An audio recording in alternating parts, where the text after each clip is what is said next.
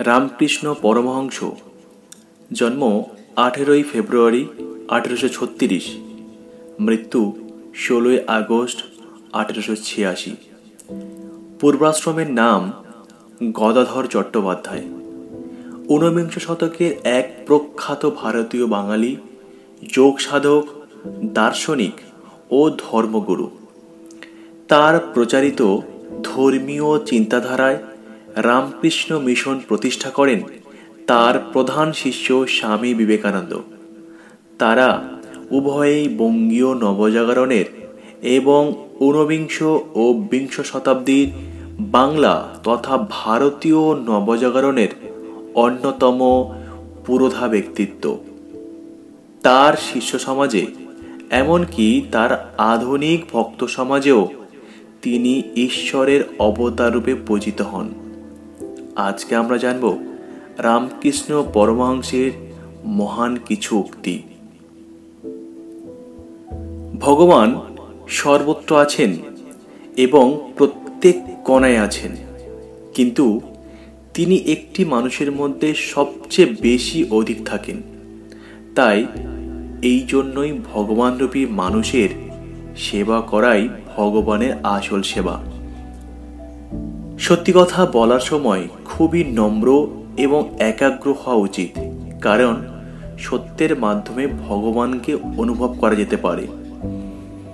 ভগবানের অনেক নাম আছেন এবং তাকে বিভিন্ন মাধ্যমে প্রাপ্ত করা যেতে পারে।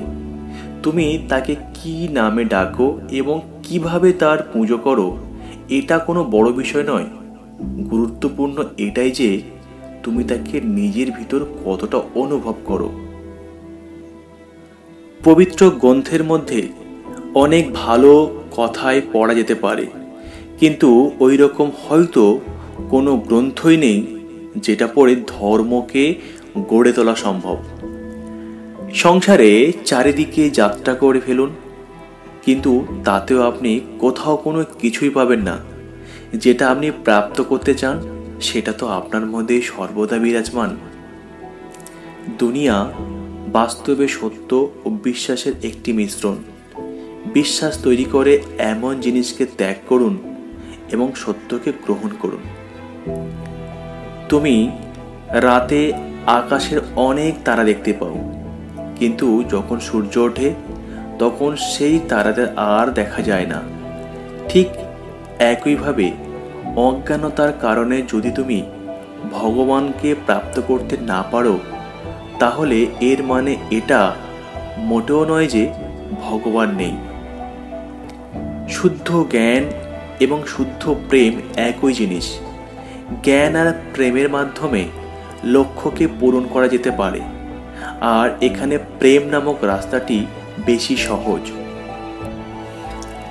ওই সব মানুষের ব্যর্থই জন্ম হয়। যারা খুবই কঠিনতার পর পাওয়া মনুষ্য জীবনকে একইভাবে নষ্ট করে দেয় এবং নিজের পুরো জীবনের ভগবানে উপস্থিতি অনুভবেরই চেষ্টা করে না। সাংসারিক বিষয়ের উপর জ্ঞান মানুষকে জেদি বানিয়ে তোলে। জ্ঞানের অভিমান হল একটি বন্ধন। যেইভাবে ধুলোপূর্ণ আয়নার ওপর সূর্যের আলোর প্রতিবিম্ব পড়ে না, ঠিক সেইভাবে মলিন মনে ঈশ্বরের প্রকাশের প্রতিবিম্ব পড়া সম্ভব নয়। হাওয়া যখন চলতে থাকবে, তখন পাখা চালানো বন্ধ করে দেওয়া উচিত। কিন্তু যখন ঈশ্বরের কৃপা দৃষ্টি বজায় থাকবে, তখন প্রার্থনা আর তপস্যা কখনোই বন্ধ করা উচিত নয়। যদি তুমি ভগবানের দেওয়া শক্তির সৎ ব্যবহার না করো তাহলে তিনি কখনোই অধিক দেবেন না। তাই প্রচেষ্টা করা অবশ্যই প্রয়োজন তার কৃপার যোগ্য হওয়ার জন্য। জল এবং সেটার মধ্যে উৎপন্ন বুদ্বুদ এক জিনিস, একই প্রকার। জীবাত্মা ও পরমাত্মা একই জিনিস। শুধু তাদের মধ্যে কেবল এটাই পার্থক্য যে, একজন পরিমিত আর অপর অন্তত। একজন স্বতন্ত্র আর অপর স্বাধীন ও স্বতন্ত্র দুটি। যতক্ষণ ইচ্ছা তোমার মধ্যে লেশমাত্র বিদ্যমান আছে, ততক্ষণ তুমি ঈশ্বরকে পাবে না। অতএব নিজের ছোট্ট, বড় সব ইচ্ছাকে ত্যাগ করে দাও। একমাত্র ভগবানই বিশ্বের পথপ্রদর্শক ও গুরু। যেই ব্যক্তি আধ্যাত্মিক জ্ঞান অর্জন করে ফেলেছেন তার ওপর কাম ও লোভের বিষ কখনোই চড়ে না। বন্ধন ও মুক্তি কেবল একলা মনের চিন্তা মাত্র। বিনা কোনো স্বার্থ ছাড়া কাজ যেই মানুষ করেন, সে বাস্তবে নিজেই ভালো করে চলেছে। নিজের বিচারগুলির উপর সৎ থাকো ও বুদ্ধিমান হও। নিজের বিচার বুদ্ধি অনুযায়ী কাজ করো তাহলেই তুমি নিশ্চিত সফল হবে।